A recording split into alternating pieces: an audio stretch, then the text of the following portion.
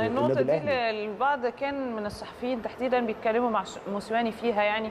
أنت عندك لعيبة كتيرة جدا في المنتخب وده إجهاد عليهم لما بيشاركوا مع الأهلي. ما لعبتش ناس مش أساسية ليه أو لعيبة غير أساسية ليه. برضه حضرتك بتت... يعني تتبنى الفكر ده ولا قصة إن هو الموضوع برضه قرار صعب إن أنا آخده في بداية ماتش ممكن يعني ممكن في نهاية الماتش أقول أنا كان المفروض أعمل بس إن أنا أخش وشايل حد أساسي عندي عشان بيشارك في منتخب يعني شايفها إزاي آه برضه يعني أنا؟ شايف برضك الصحفيين بيسألوا أسئلة غريبة يعني بصراحة هو الراجل هو اللي في يعني. المطبخ هو اللي عارف لعيبته وهو اللي عايش معاهم متعايش معاهم في الوحدات التدريبية وفي المعسكر وهو اللي شايف مين مين أصلح يكون موجود في المباراة دي كل مباراة بيبقى ليها آه، استراتيجيتها كل مباراة ليها آه، طريقتها كل مباراة ليها رجالتها فالكلام ده طبعا الصحفيين يعني سؤال بس بي يعني بيطرحوا كده على الراجل وخلاص. لكن اللي اللي متواجد آه، آه، في تدريبات النادي الأهلي آه، بيعرف فكر الراجل إيه طريقة اللعب اللي هيلعب بيها إزاي الشكل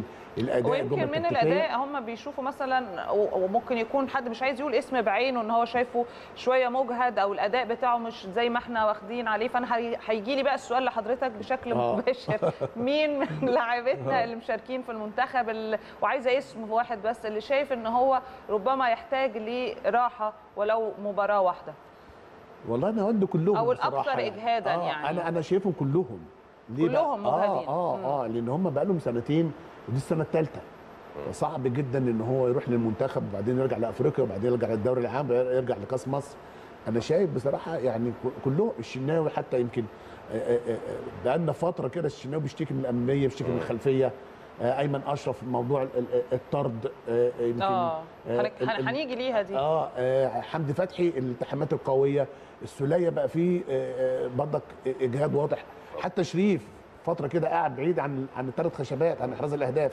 قفشة هو شريف برضو كان في كورة ضاعت يعني لو هنتكلم آه. تحديدا على المقاولون وده برضو مش المعتاد بتاع محمد شريف ابدا بالظبط. يعني فالإجهاد نواند بيخلي اللعيب مش في الفورمة بيخلي اللعيب مجهد بي- بيعرضه للإصابة آه، ما بقاش بحالته الطبيعية اللي إحنا اتعودنا عليها.